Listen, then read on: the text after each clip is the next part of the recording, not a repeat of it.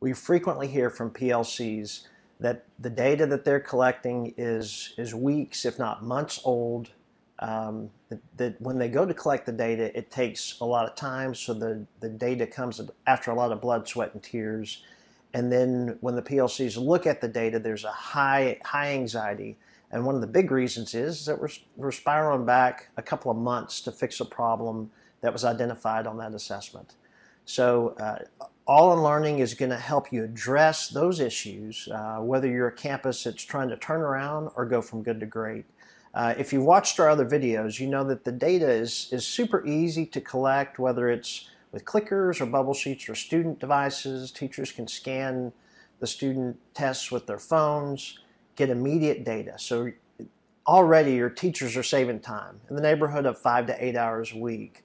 What we want to implement alongside this data collection is our um, is a quick check, and just a really just a weekly quick check.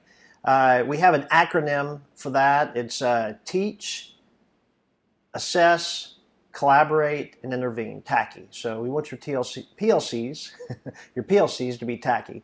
So how that works is we're going to do a five to eight question quiz uh, once a week. It may cover one or two standards and then we're going to look at the data. So here's a, here's a quick overview uh, of what the data looks like. So this report right here kind of gives me the bird's eye view of how the classes did.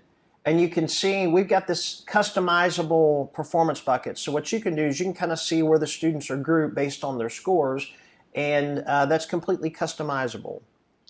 When it comes to collaboration, what we want the teachers to do is look at the data together. So if you see on question two here, this is an item analysis on the test, and on question two, uh, Sandy's class had a 96, my class had a 23. So what's my question to Sandy? Well, how did you teach that? What examples did you use? Now, if we wait six or eight weeks to ask, ask that question, uh, she may not remember how she taught it, and I won't remember how I taught it. So by asking this question the same week that we taught it, we'll both remember it. It's fresh and it's something that we can more easily fix. And it this is what lowers our anxiety level looking at the data because we're spiraling back two days, not two months. And then from an intervention standpoint, what we want to look at is who's struggling and where.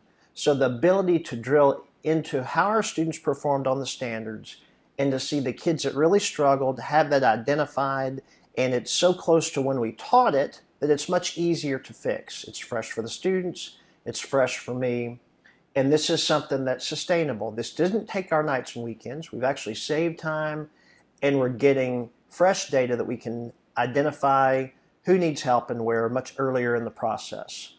So we've worked with tons of campuses that have experienced profound growth and one of their core strategies that they implemented was our weekly quick checks we want your PLCs to be tacky.